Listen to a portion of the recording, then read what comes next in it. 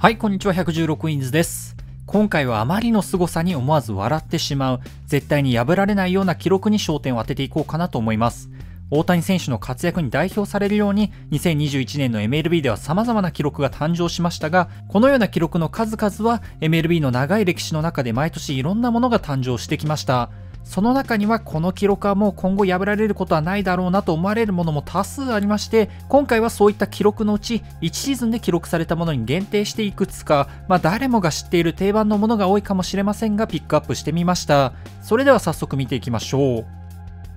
はいまず1つ目はバッターでシーズン50死球デッドボールの方ですね。こちらを達成したのは1971年当時のモントリオールエクスポズでプレーしていたロン・ハント。ハントは1960年、70年代にかけてメッツやエクスポーズなどでプレーした選手でメッツ時代には2度オールスターにも選出されたことのある選手ですが彼はデッドボールの多い選手としても有名でした。1968年から1974年までの7年連続でデッドボールの数がリーグトップで1971年に記録したこの50という記録は1900年以降では MLB 最多2位の1986年ドンベイラーが35ですので、いかにハントの記録が突出しているかがよくわかります。1971年のハントはフォアボールの数が58個とデッドボールとあまり変わらず、むしろデッドボールがあったからこそ打率2割7分9厘ながら出塁率4割2厘という好成績を残せたのかもしれません。ハントは引退後のインタビューにて、1968年のジャイアンツ移籍後から本格的に当たるようなアプローチにシフトしたそうで、実際にこの年からデッドボール数が急増しているので、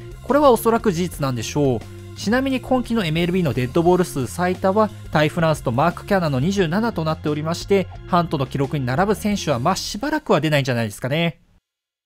続いてはバリー・ボンズの記録から1つシーズン120敬遠ですね。2004年の記録となりましてこの時期2001年から2004年頃のボンズの成績はどうしても薬とセットで語られがちですしそれはもうやむを得ないわけですが天才に薬物の力を与えたらどんな成績になるのか人間が残せる成績の限界はどこなのかを現実に示したのがこの時期のボンズなんじゃないかと私は思っています。2001年のシーズン73ホーマーをはじめ4年間で209本もホームランを放っておりまたホームランでなくとも普通にアベレージも残していたため当時 MLB でも最も恐れられていたバッターで当然ながら相手チームもなるべく勝負を避けたと。その結果が120個もの敬遠となるわけですが2004年のボンズはそのせいかフォアボールを232個も選び出塁率はなんと6割9厘。シーズンでアウトになった回数の方が少ないとか MLB でちょっと考えられないですよね。OPS ももはや人間界の野球の成績とは思えない水準でいかにボンズという存在が普通の選手の枠から外れていたのか成績の面からもよくわかります。今季の MLB で最も敬遠された選手はナショナルズのフアン・ソトでそれでも23ですのでボンズはこれプラス100回と考えると恐ろしい。これに並ぶ選手はまあまず出てこないと考えて良さそうですね。続いてはこれまた有名な記録ですが、シーズン130盗塁、そして42盗塁し、記録したのは1982年当時アスレチックスのリッキー・ヘンダーソン、通算1406盗塁の MLB 記録を保有するヘンダーソンを象徴するシーズンがこの1982年でしょうが、まあどちらの数見ても本当に1年の記録なのか疑いそうになりますよね。ヘンダーソンは盗塁の技術だけではなく打席でのアプローチにも優れた選手で、この年リーグトップの116四球を選び、これが彼の盗塁をアシストした側面はあれど、とにかく前半戦から塁に出れば走りまくり、前半戦だけで84盗塁。いやいやいや、年間でも見ませんよ、そんな数字。最終的には1人で10チームの盗塁数を上回ってしまいました。チームが束になっても勝てないのがヘンダーソンの足です。マネーボールの登場以降、盗塁はリスクのある作戦とみなされるようになってしまい、近年 MLB 全体で盗塁数は減少傾向。今季 MLB 全チームでヘンダーソンの盗塁数及び盗塁士の数を上回ったチームゼロです。MLB はインプレーと試合のアクションを増やしたい意向を示しているため、これからまた盗塁の時代がやってくるかもしれませんが、ルールが変わらない限り、チーム側にあまり選手に積極的に走らせる動機もないでしょうから、このヘンダーソンの記録も当面破られることはないでしょうね。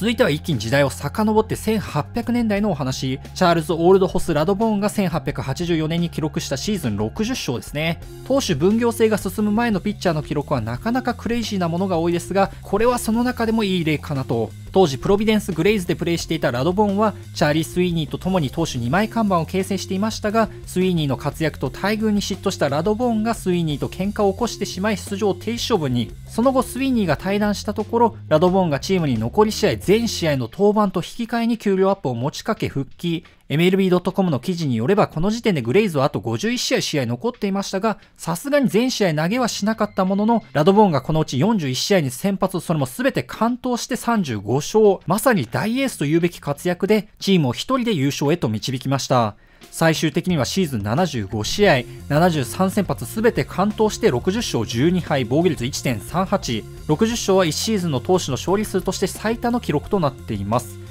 ランキングの横行で今やシーズン60勝もしないチームがいるのを見ますと、1人で60勝しちゃうのはなかなか狂った成績だなと思いますね。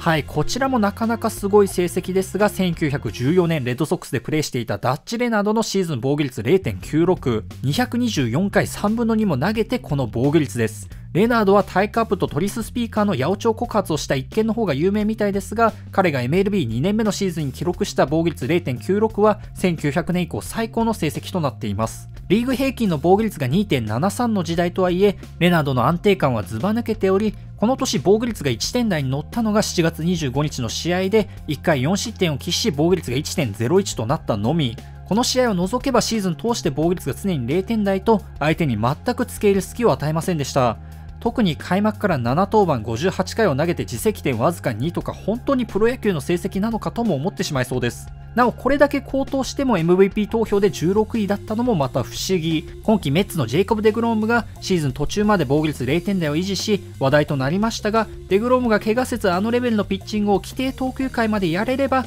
もしかしたらレナードの記録を破ったり、なんてことはあるかもしれません。もっともこれは相当高いハードルであることには間違いないわけですが。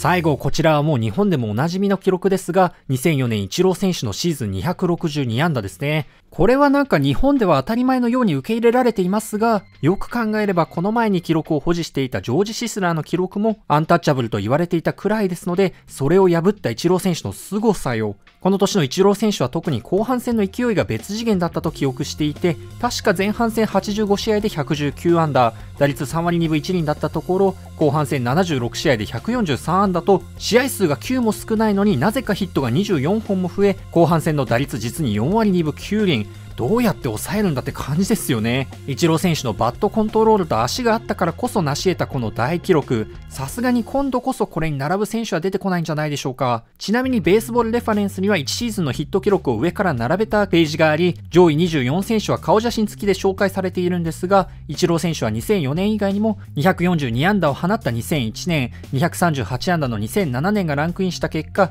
イチロー選手だけなぜか3つも顔写真が入っている面白いページも存在します。